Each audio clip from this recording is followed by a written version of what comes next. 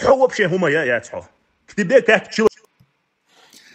В общем, вы поняли, да? Внешность у нас уродливая, и пример ставится шейх Ибн Баз, а, шейх а, Абдул-Азиз Али Шейх, а, Сулейман Абу так как у них у всех у них есть проблемы с глазами, он считает, что они уродливые, по мнению Адама Ильясова, и говорит, что Аллах не дал нам красоты, красивого внешнего вида, не дал нам вахабитам.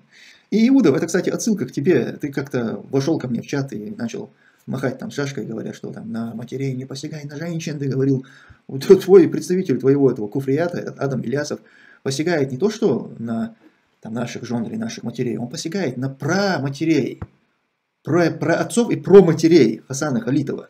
Но ведь это про мать, там седьмая, да, мать а, Хасана, она ведь наверняка является родственницей многим сегодня живущим, даже представителям вашего пути Ахмада Кадырова.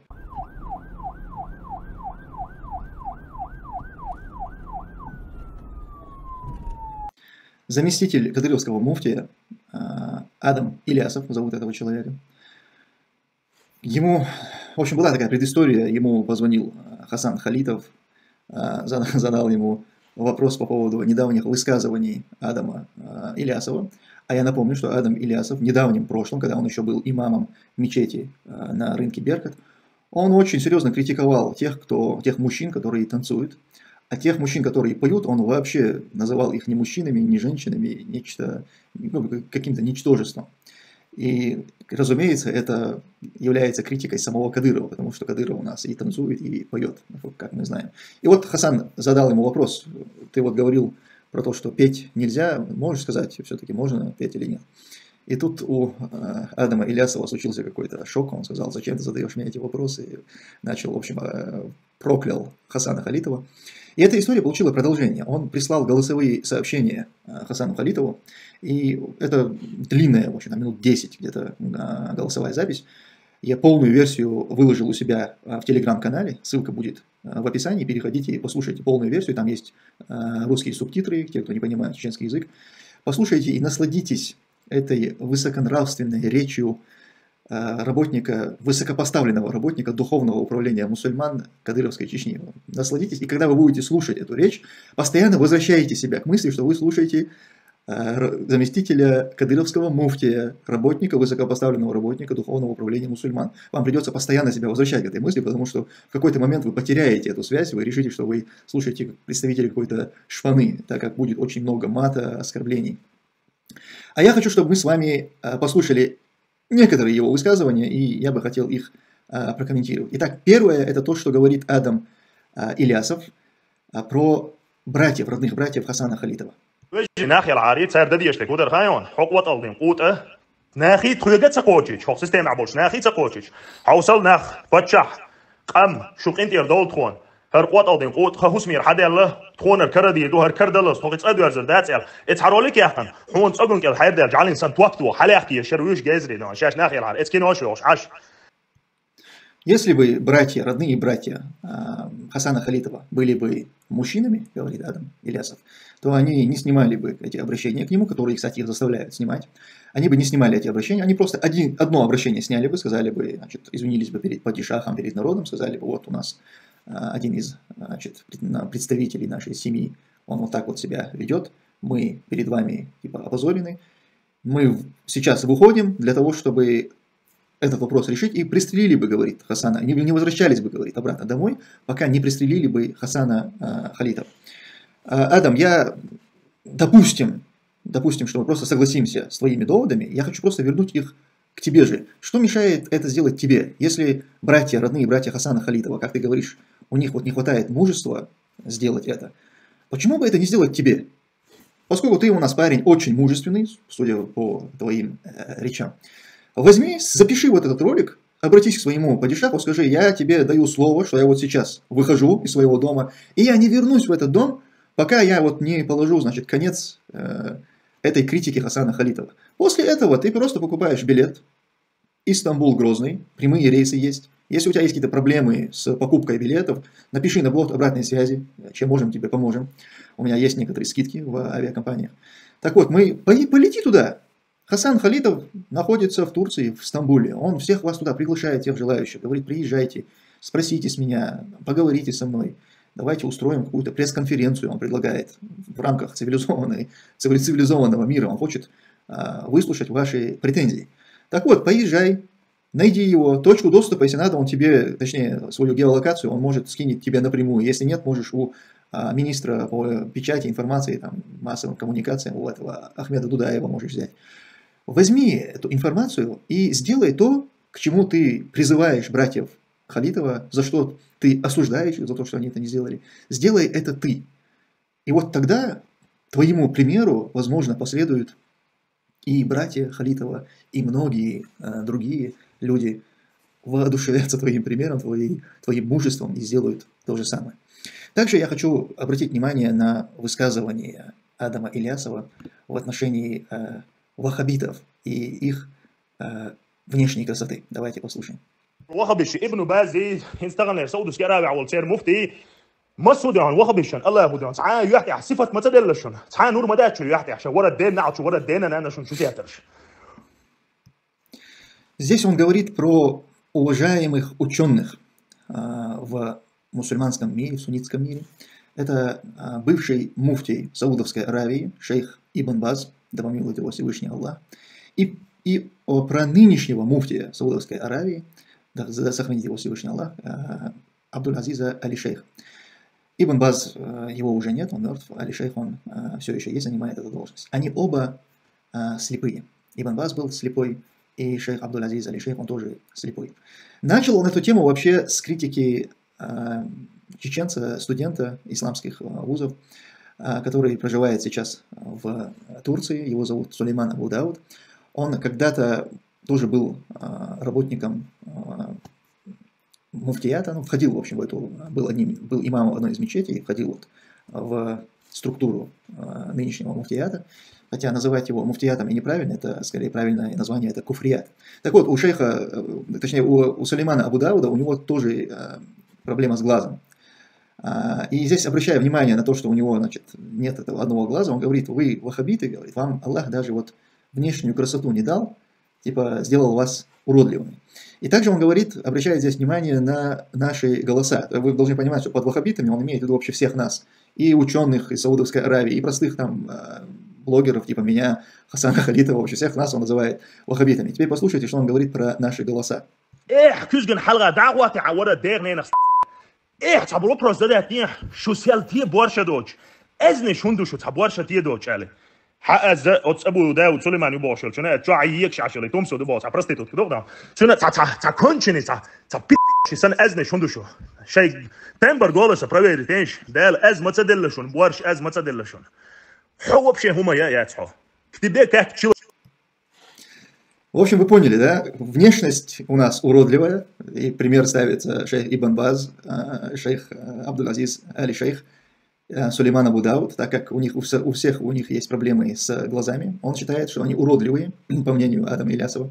И говорит, что Аллах не дал нам красоты, красивого внешнего вида, не дал нам вахабитам.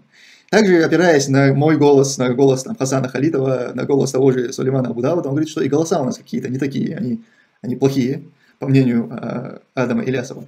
Я хочу тебе сказать, Адам, голоса и внешний вид – это действительно то, что даруется Всевышним Аллахом.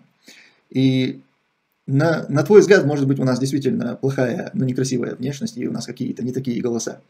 Давай предположим, что мы с тобой согласимся и скажем, что у тебя просто идеально красивая внешность, и у тебя просто мощный голос. Вот одарил тебя, скажем, Всевышний и внешностью, и голосом. Но есть кое-что, чем не одарил вас, представителей э, кадыровского куфрията, вас Всевышний Аллах, то, чем вас Он не, не наделил, но наделил э, нас, нас вахабитов, как ты нас называешь, это, это смелость, смелость говорить правду. Вот этим он вас не наделил. Да, ты можешь завтра отправиться на какой-нибудь конкурс красоты мужской, и может быть ты его выиграешь, потому что ты, ну, на твой взгляд, ты очень красивый парень, и может быть действительно там в жюри будут сидеть ребята, которым очень понравится твоя внешность, и ты, может быть, возьмешь первое место, станешь таким, так сказать, мистер мира. Может быть, твой голос придет им всем по душе. Но вот смелости у тебя нет, вот ее ты не сможешь себе развить. Ни ты и никто из представителей вашего куфрията. Обрати внимание, ты не смог ответить на прямой вопрос Хасана Халитова, ведь ты говорил, что тот, кто танцует, мужчина, который танцует, он не, а, не годен для свидетельства по шариату, говорил ты. А тот мужчина, который поет, он вообще и не мужчина, и не женщина. Это вот шариат его воспринимает как что-то такое среднее, говорил ты. И когда Хасан задал тебе этот прямой вопрос, он сказал, скажи, а можно ли мужчине петь? Вот что ты скажешь про тех, кто поет? У тебя не хватило смелости сказать, да, это, этого делать нельзя, шариат их не воспринимает, это вот какие-то не мужчины и не женщины. У тебя нет смелости, чтобы вот так сказать. У тебя не хватило смелости даже, чтобы хотя бы подтвердить эти свои слова и сказать, я тогда был неправ. Да, я тогда это сказал, но я был неправ. На самом деле, те, кто поют, они, их можно значит, брать в свидетели, э, точнее, те, кто танцует, их можно брать в свидетели, а те, кто поют, это вот они настоящие мужчины. У тебя ведь не хватило смелости это сказать. Ни у одного из представителей вашего куфрията нет смелости. Смелость – это то, чем Всевышний Аллах, Аллах вас не наделил. Но наделил этой смелостью тех, кого ты называешь вахабитами, кого ты так презираешь, чьими голосами ты так недоволен, чьей внешностью ты так недоволен. Все эти люди говорили или говорят правду, несмотря на все проблемы, которые вы же этим людям а, создаете. Ну и а, в заключение я хочу обратить внимание на, на то, что говорил а, Адам Ильясов про недавнего своего коллегу, про бывшего Кадия Ленинского а, района города Грозного, Резвана Чимаева. Резван Чимаев это, это человек, который сбежал, ну, уехал из а, Чечни, уехал в Турцию, и как ни в чем не бывало там, значит, стал, стал жить да поживать и добра наживать. Но когда наши соотечественники, проживающие в Турции, узнали о том, что значит, он приехал, что живет себе в Турции, с ним связался Хасан Халитов, позвонил ему, и минут 10 они поговорили. Этот разговор Хасан выложил а, на своих ресурсах. Так вот, а, меня удивило то, что Адам, как Адам Ильясов вообще преподнес всю эту картину. Давайте послушаем.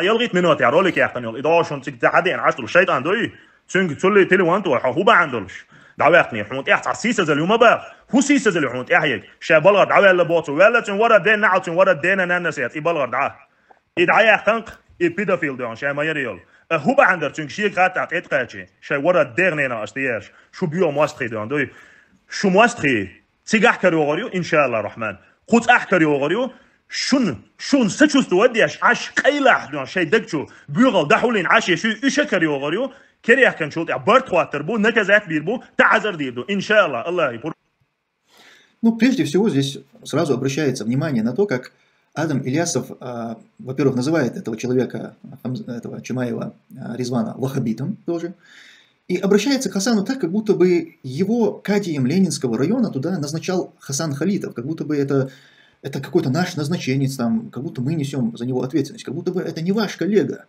будто это не вы делали его э, кадием Ленинского района.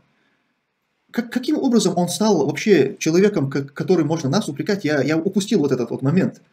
Пока этот э, Резван Чимаев был кадием Ленинского района, он был вашим коллегой, вашим братом и вполне вас устраивал. Но как только у вас что-то там произошло, вы его, как э, ты утверждаешь, уволили, он говорит, что он уволился, не знаю, допустим, что вы его уволили, после этого он почему-то стал вахабитом и стал приписываться к нам. Но при чем здесь мы? Для нас это как раз-таки это ваш человек. И Хасан с ним связался именно из-за этого, так как он, работа, поработав с вами, будучи причем чиновником в вашей системе, Акадия это, это чиновник, это не просто какой-то имам мечети, это человек, который контролирует этих имамов в своем, в своем районе и отчитывается Акадию Грозного. Это, это уже конкретно иерархия, это чин. Он был вашим чиновником – работал и трудился на пути Ахмата Кадырова. Поэтому ты, дорогой а, Ильясов, нам этого человека не приписывай. Он твой коллега. А вот что сказано было тобой про его, про то, что он якобы э, педофил, вот это вот абсолютно меня не удивляет, так как ну, это же ваш куфриятовский человек. Конечно, вы, вы, вы не удивите нас э, тем, что э, вы там являетесь педофилами, зоофилами и, и, и всевозможными филами. Конечно, вы сажаете людей на бутылки, друг другу суете эти бутылки. Через эти бутылки наверняка вы там берете э, на работу должности этих кадиев и так далее, замов, муфтиев. Наверняка через бутылки как-то у вас это происходит. Поэтому мы не удивлены. Я не знаю, действительно, причастен ли этот а, Резван Чимаев к тому, в чем ты его обвиняешь, но я знаю, что в целом эти, это описание и эти все извращения, они вам присущи. И ты не можешь от этого э, отрекаться, ты не можешь это отрицать. Ведь твой непосредственный руководитель, муфтий кадыровский Салах Межиев, он целиком и полностью оправдал изнасилование Салмана Типсуркаева бутылкой. Он это не осудил, он не сказал, что так делать нельзя. И ты этого не сделал ни ты, никто из представителей вашего куфрията не выступил с осуждением изнасилования человека бутылкой. Поэтому для вас это нормально. Любая вот эта филия, все, что ты перед этим можешь все что угодно поставить, любая из этих филий, извращений, для вас это присуще. Поэтому мы, ты нас этим абсолютно не удивил. Удивил ты меня лично лишь тем, что ты почему-то этого своего коллегу решил приписать к нам. Но нет, это твой коллега, Ильясов, и скоро он отправится, наверное, обратно к тебе. Там а, в Турции, как ты понимаешь, его никто не принял. Он думал, что он будет как-то придет, там по-тихому а, осядет. Но нет, так не бывает. Если человек публично вел какую-то деятельность против мусульман, против религии Аллаха, против нашей государственности, то если он раскаялся, у каждого есть, конечно, путь к раскаянию, но раскаяние тоже должно быть публичным. А если он этого публично делать не хочет, то и раскаяние его не принимается. Так что это твой коллега, и он остается таковым, пока он публично не выйдет против вас. И оставь его, пожалуйста, себе, не, не приписывай его нам.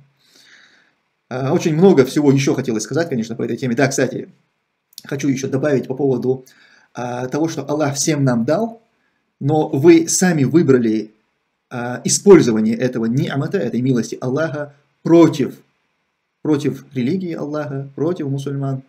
Это язык. Язык, он всем нам дан, и вам, и нам. Аллах дал одинаковый язык.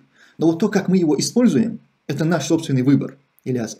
Так вот, мы, вахабиты, да, как ты нас называешь, и те, тот же шейх Ибн Баз, и шейх Абдул-Азиз Али Шейх, и тот же Сулейман Абу Дауд, и я, и Хасан Халитов, и вот все те, кого ты обобщаешь, да, называя нас вахабитами, мы используем этот язык исключительно для опровержения лжи, для выхода против несправедливости, и делаем это красиво. Мы, мы не материмся, мы не ругаемся, мы не посягаем на честь матерей, там, про матерей и так далее. Мы а, как-то воспитанно пользуемся своим языком. А посмотрите на то, как, как используете язык вы, представители этого куфрията. Исключительно для вылизывания, прежде всего, да, вы, конечно, его в этом плане вы виртуозно его используете. Вы лижете своими языками а, этого наместника, поставленного вам Путиным. Вы лижете его, всю его семью, всех представителей а, его дома.